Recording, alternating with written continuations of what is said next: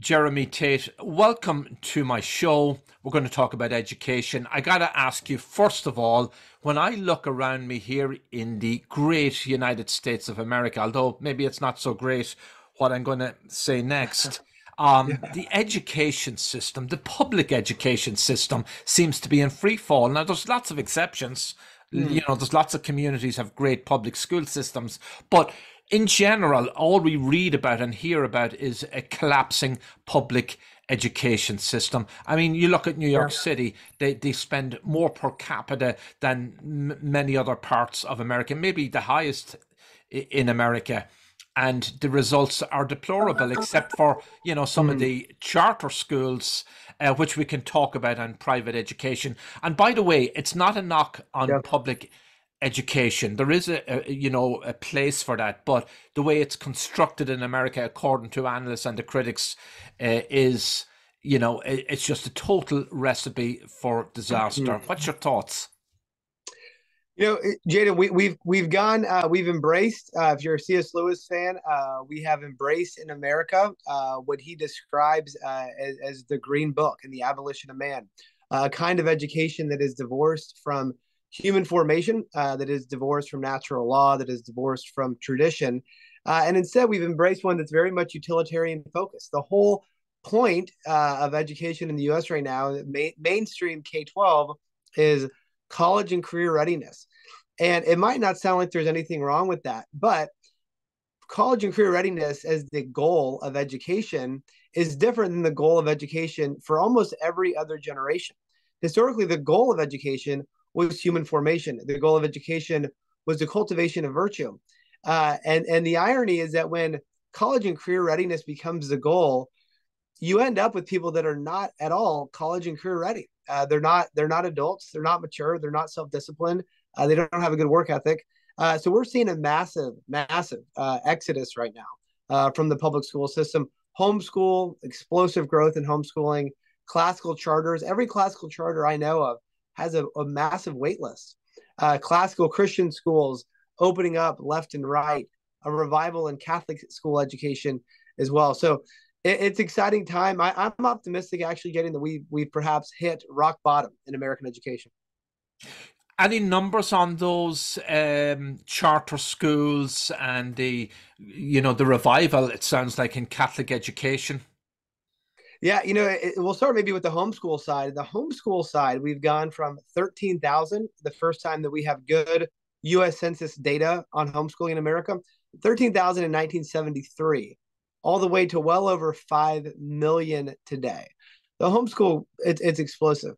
The charter school movement, especially in places like Texas, Arizona, more and more Louisiana, Colorado, even California, I I cannot find. I mean, you can't find it. Uh, one of these classical charter schools that does not have a wait list, often as big as the entire school. Uh, there's hundreds now of these classical charters. Uh, there's over 500 schools now in the country that are described as classical Christian schools, uh, and so these schools are looking back to the past, not to try to take us back to the 1800s or something, but to say, you know what, we we have forgotten, we threw the baby out the bathwater. We have forgotten uh, so much of what the old world had right. Now, they didn't have everything right, uh, but we need to bring the very best of the old world uh, into the new world. And that, that's what CLT wants to be doing as well. Yeah, and so we get to what you're doing and you're offering the education system in a moment. But um, in New York City, uh, New York State, um, more specifically, they're spending something in the region of twenty-eight thousand dollars per student uh, yeah. in the most recent budget numbers, um, and the results are not um, they're mediocre at best. Um, yeah, but you know the other the other issue that constantly comes up, at least in, in recent times, is the uh, curricula and the whole um, let's call it the ideology that's increasingly running through the public um, education system and a kind sure. of, you know, disabuse me if I'm wrong, a kind of neo-Marxism, um, you know, in, in, in, in, in the way things are set up. You know, I, I think what we're talking about here is, is a way uh, to, to view the world, right? It's impossible to not impart a worldview to students uh, when you're teaching. Any kind of education will do this. It has to by default. And so when we're talking about neo Marxism, essentially what we're really talking about is imparting a worldview that primarily views the world through a lens of oppressed and oppressor, right? And I don't even think we have to say that there's that's it, it's wrong to take a look at the world through that that view, right? It's one of many different ways we could view the world through, but when the primary way to interpret everything is oppressed versus oppressor, it ends up getting a very warped view. Uh, and, and what it can ultimately do, which is so damaging, is that it can strip young people of agency. Uh, you know, this idea, I remember I taught my first three years, Jaden, in, in inner city New York. And it was not, uh, and this is a school, 100% minority population. It was not uh, the black teachers who grew up in New York who were teaching these ideas. It was the young, highly progressive white students, white teachers who grew up in affluent communities, who went to a college and got these ideas in their head. And they would come back and they would tell these students, you know, the system is, is stacked against you. I remember very well, uh, his name was Mr. Wilkinson. He grew up in Brooklyn, New York, one of the best teachers in the building, six two or six three. Uh, and he he got on to one of the new new teachers and he was saying, You're you're teaching these students uh, that that everything's stacked against them, that they cannot be masters of their own fate. You're taking agency away from them. That's what's so toxic about this this Marxist ideology. Yeah, yeah, it, it's just running rampant. So it, it, it's just going down just this awful, dangerous path. And there are reformers out there, there are critics, and parents are trying to take back control in some school districts. But my gosh, it's a, mm. an uphill battle. It is, you know, we've had a hundred years of this. I mean, essentially, education really did not change fundamentally for two thousand years. Uh, the kind of education going back to Saint Augustine, going back to Plato's Republic, uh, it was an education that was rooted in the goal of it. Again, the goal of the education was to create, to cultivate virtue. Uh, it was the reason we started teaching history historically. The point of teaching history was to inspire heroic virtue in young people right? To inspire a love of country. Uh, that is not what's happening in most most history classes uh, today at all. If anything, it's it's the exact opposite. So we have gone from 2,000 years of classical education to now uh, a, a new. I think the best word for it is kind of secular progressive education. That instead of building and drawing people into uh, the great traditions and history of the West, uh, it's really uh, undermining that tradition and making people kind of hate it. I think. Classic learning that you're referring to there um, is very popular now in the charter school system and homeschool system. Give us an overview of what it is for those who may not be all that familiar. Uh, I mean, if they're going through the public school system, a lot of parents will not be familiar with this, and um, you may be doing them a great favor here.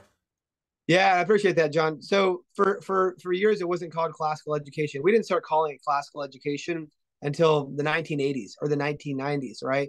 And the reason for that is that it was formerly just called education. That's all there was uh, until the beginning. I mean, think about an analogy here with something like milk, right?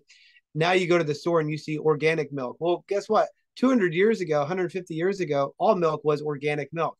And now we have to do, we have to add in this modifier uh, to say this milk is organic, right? Yeah. We're doing the same thing when we say classical education. We're saying this is genuine education. This is a genuine article, right? This is education free from all the junk that has been put in, as in the case with, you know, we again we could continue down the road with the, the food analogy if we wanted to, but th- this is education. What so what is classical education?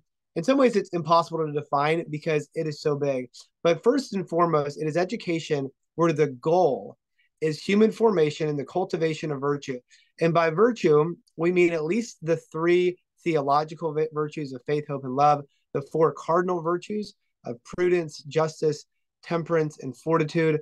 These are virtues that, that Western societies agreed on for thousands of years, uh, that these were uh, indisputable. We, we wanted each generation to come to exhibit eloquence and kindness and generosity. Uh, these are the seven lively virtues now as well. So, character education, virtue education, this was the point. It's interesting to me, John, that for a long time, education was off, often just called formation.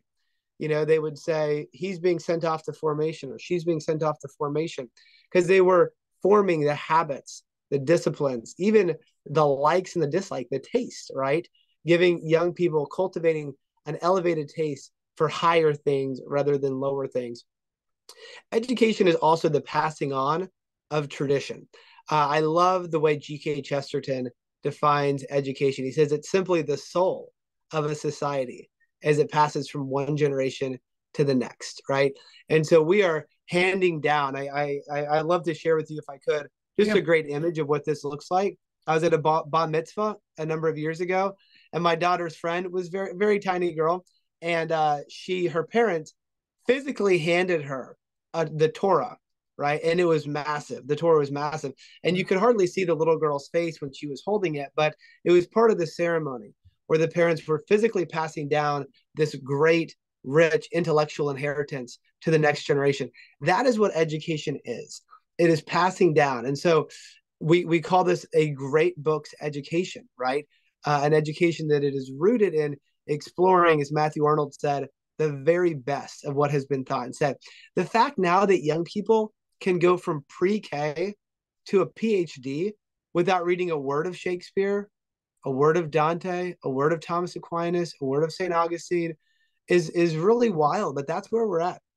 Yeah, and so as you said, then it's rooted in tradition, and then Latin is probably on the curricula too in many of these um, classic-oriented schools. So, if it works so well and is so brilliant as it is, you, you've convinced me, and I've I always thought it was anyway, from what I knew of it.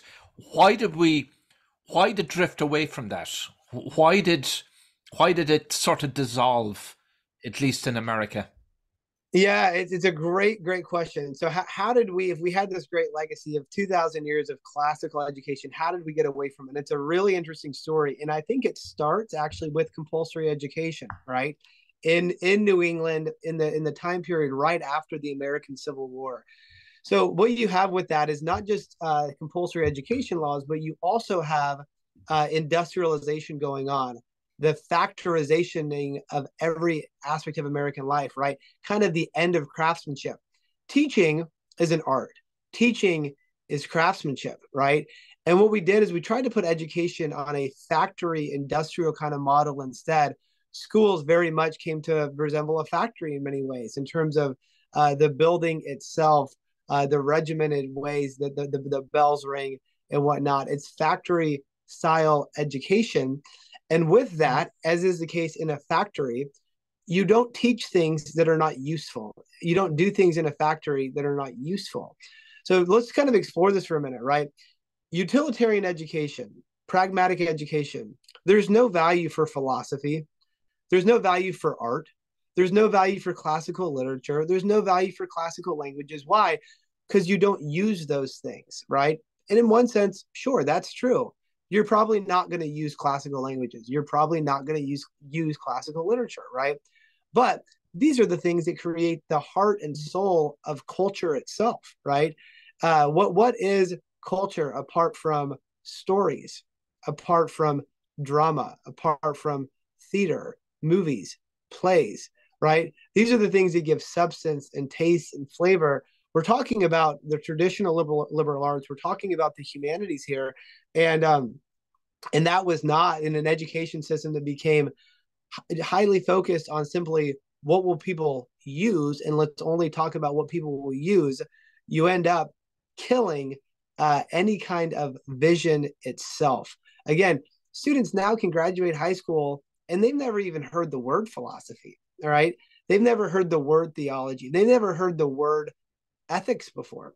Uh, and this is this would be really really wild to any other generation. And and look even people on the political right and i'm a conservative actually but people even on the political right question why we should study philosophy. Well america literally is simply taking the very best of enlightenment philosophy and making a country with it right? I mean they, they gathered the ideas of john locke and other enlightenment philosophers about what would be the ideal country in terms of uh, checks and balances. and the authority the people would have over the state itself.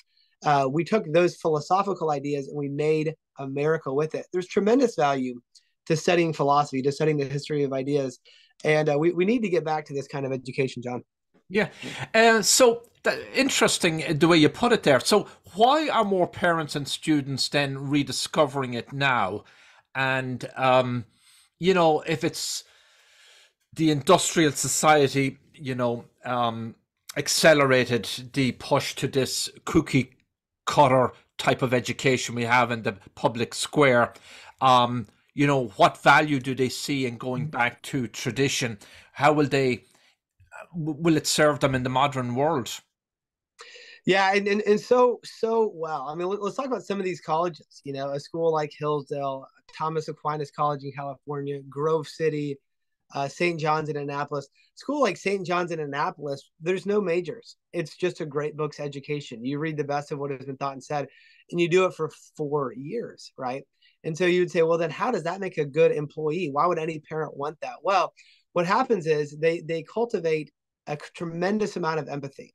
They cultivate a tremendous amount of the ability to listen well, to read well, to think well, to speak speak clearly, to articulate themselves clearly any employee wants those kinds of people right now. And in many ways, I think that's been the secret sauce of CLT's success. We hire heavily from Hillsdale College. We hire heavily from Patrick Henry. Uh, it's students that have had an education. And you know, Mark Cuban, the the owner of the Dallas Mavericks, yeah. he said this in an interview a few years ago. He said, "Look, in ten years, there's going to be far more value to somebody with a serious liberal arts education than somebody with an engineering degree, right? Wow. Because because what can you not automate? You can't automate being fully human, right? You can't automate anticipating where the how the markets are going to evolve ahead of time and offering the perfect solutions, the perfect products and services at just the right time. There is no young person who has a, a better aptitude for navigating a, a, a rapidly changing job market than somebody with a classical education, right? Uh, they've learned how to think well, how to think clearly.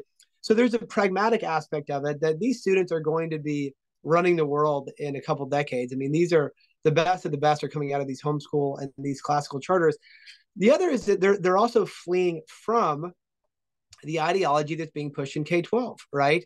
Mm-hmm. Um, it is a lot of parents. You know, we can debate this or not. A lot of parents they don't agree uh, that gender's fluid, right?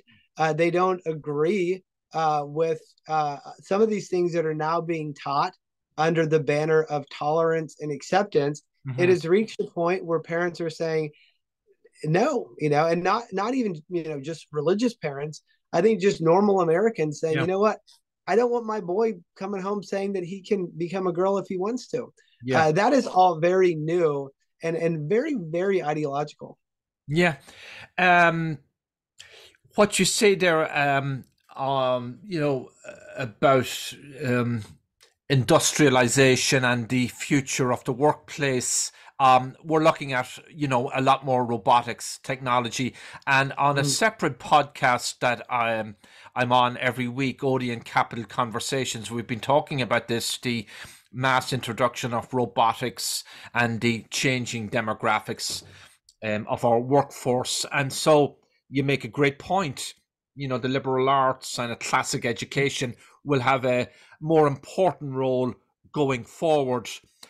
My question, though, is uh, can these um, influences that you pointed out there in the public education system, the ideologies, the the gender um, curricula, and um, the equity discussions, um, could they creep into classic education, or they, you know, they're incompatible? A great question. Well, you know, in a classical school, students are often they're they're sitting in a circle. Uh, they might be reading out loud uh, Plato's dialogues uh, and discussing as they go through it. Right. That's different than what is happening where they're often reading and discussing uh, some of the hot button contemporary issues in a mainstream public school without actually first doing um, part of what education ought to do is remove us from our own historical context, right? uh, that it is, and this is a unique gift of classical education that in many ways you're you're free uh, from being in a classroom where uh, everybody already has their opinions about the current hot button issues of the day and you can come to an older text. Maybe it's democracy in america maybe it's maybe it's uh, D- dante's inferno whatever it may be. Maybe it's augustine's confessions. And talk through it uh, with people who may have different political beliefs than you uh, but you're still going to learn so much from that text and and exploring the questions that are truly timeless mm. i think if if if classical education is going to become more uh, ideological in terms of pushing new ideology, I think it would cease to be classical education in, in any serious way. Tell us about your classic uh, learning test and your program because you're the CEO and co founder of your own company and it's had growing success and it offers an alternative to the SATs yes. and the other testing um, systems that have been around for ages? Yeah, John, I appreciate uh, the question. And, uh, you know, we often think of standardized tests as first painfully boring. Like, who cares? Who wants to talk about standardized testing, right? So it seems very boring to a lot of people. Uh, and at the same time, uh, we often think of especially the SAT and ACT tests as like, oh, yeah, that's a college entrance exam that you go and take once or twice. The SAT and ACT, yes, you do take them for scholarships and for college admissions, but they play a much more powerful role in actually driving curriculum, right? The test, whatever gets tested, ends up getting taught. And so if the main test that students are taking, if it requires them to read Chesterton or C.S. Lewis or St. Augustine, then that's going to change what they're reading in the classroom as well. And that was why we launched CLT. We thought, you know what, if we're going to have standardized tests, and if these tests are going to be powerful, in driving curriculum, then the test ought to put young people in front of the very best of what has been thought and said. Uh, and so that's what students encounter when they take the CLT. They may be reading Darwin, they may be reading Dante, they may be reading Shakespeare or Flannery O'Connor or Catherine of Siena. Uh, but the, what they're not going to be reading is what the SAT is doing. Two years ago, hundreds of thousands of students took the SAT, and guess what they are reading? Bernie Sanders on the SAT, right? Wow. I, you can't make this up. You can't make this up. That is incredible. Extraordinary, really. And so is your test and your program accepted by a lot of colleges or, you know, how how does that work? Yeah, it's been accepted by over 200 colleges now. And uh, and a lot of the colleges have actually gone test optional, uh, but a number are going back to requiring a test especially for homeschool students. And so just recently, Purdue, uh, MIT, they went back to requiring a test. That's likely to continue to happen uh, in the future as a lot of colleges are seeing the downside of not having a test score uh, and kind of flying blind and often admitting the wrong students because they don't have a test score.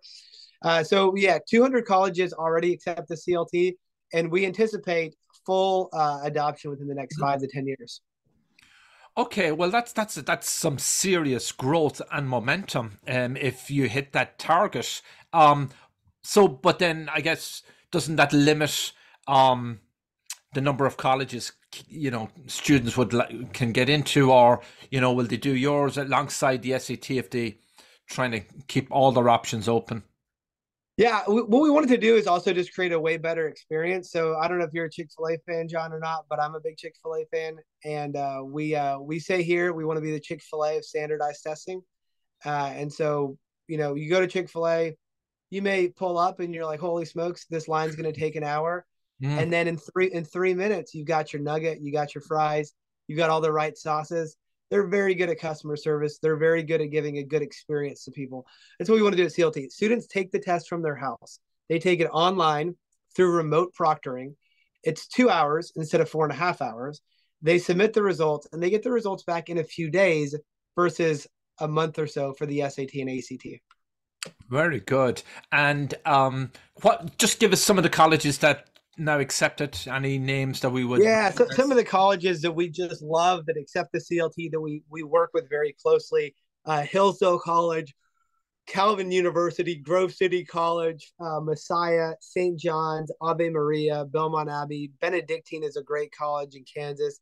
St. Thomas, Franciscan, uh, Thomas Aquinas, University of Dallas, Dallas Baptist, Baylor. Baylor is a great institution. Uh, so we've we've got about 200 partner colleges right now, and again, we we do expect full adoption in the next five to 10 years. Because at, at this point, when colleges don't accept the CLT, they're missing out on some great great students. Yeah. Um, just give us how can people reach you, your website, contact information. Yeah, I appreciate that. The website is cltexam.com. Again, cltexam.com. Uh, my Twitter handle is at Jeremy Tate 41. Jeremy, this has been a most informative, educational, and fascinating interview. Uh, good luck with all you're doing, and I hope you'll come back soon to, you know, keep us up to date on progress. And in the meantime, I'm going to check out. Uh, what did you call it? Chick Chick Fil A, I guess it is. Chick Fil A, Chick Fil A. You got to. Yeah, we have fan. one. We have one in here, in, close to us, in the New Jersey area, and I do notice the lines, by the way, and so they must be doing something right. So, yeah, if you're going to emulate that kind of business model, you're on the road to stardom and success. John, uh, thank you so much for the invite. Uh, it's great to connect. It's great to be on the show. Thank you.